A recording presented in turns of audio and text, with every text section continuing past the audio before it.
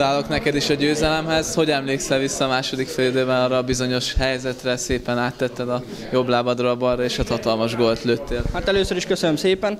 Hát úgy volt, ugye, hogy először már próbálkoztam kétszer ballába, nem nagyon jött össze. Utána kihívott maga a András, és mondta, hogy toljak egy nagyobbat, és utána próbáljam meg ellőni izomból. Előttem, és hála Istennek bement a hosszúba.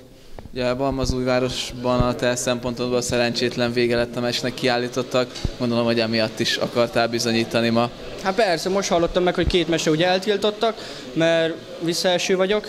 Hát most be akartam bizonyítani, hogy hogyha visszatérek, akkor lehet rám számítani, és remélem, hogyha a szakmai stáb is így gondolja, akkor ad nekem esélyt újból, hogy ott legyek. Milyen, milyen utasításokat kaptál a szünetben, mit kellett ott a jobb szélen csinálnod?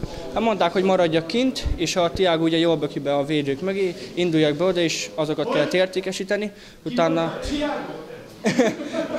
Utána megpróbáltam megcsinálni, néha összejött, néha nem. Tehát volt ez a mozdulat, hát hála Istennek megint összejött. Hogy érzed, milyen most ez a csapat? Nagyon szép sorozatban vagytok benne, három győzelmet arattatok zsinórban. Hát nagyon jól, egyre jobban összecsiszolódunk, hála jó Istennek.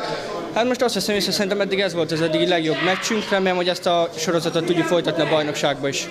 Köszönjük szépen!